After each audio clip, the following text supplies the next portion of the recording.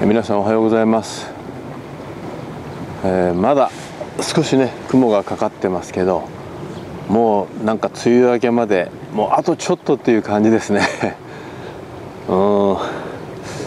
で今日はね朝日はちょっとぼやけてましたけど、えー、まあ、登ってくるところが撮れてると思いますんであでもカメラ止まっちゃったかな。ちょっとね他のこと今日やってたもんでね。後でまた、えそれ後ろに貼っときますけど、え何をやったかっていうとね、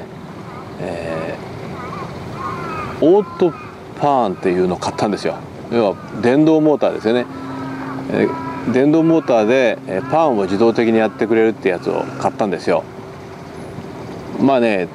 ここは180度以上まあ後ろは山しょってますけど360度パノラマ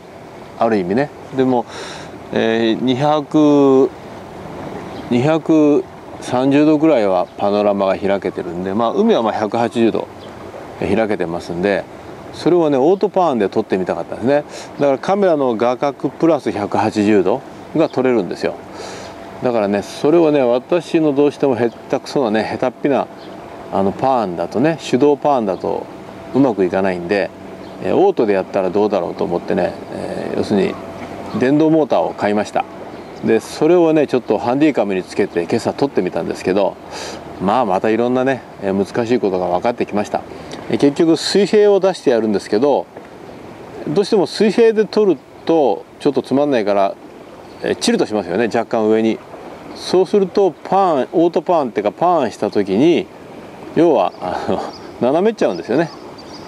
行角がついてますから。だからそれをどうしても水平にしてやると今度絵がつまんなくなっちゃうんですね。でも水平にしないとえパーンした時にあの画面がこう水平線が斜めになっちゃうんですよね。だそういう問題とかがね結構難しいですね。やっぱりね。でもまあ今日はちょっとそういう無駄なことを言うのやめましょう。ちょっとねそれを後でね、え、貼ってみますんでどういうふうな絵が撮れたか、え、ちょっとご覧になってみてください。まあちょっとこれも少しね、え、使いこなすまであの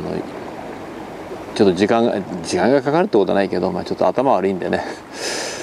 ね今日はね晴れそうですね、えー、もう夏はすぐそこです、えー、7月になりました。それでは皆さん今日も元気でいってらっしゃい。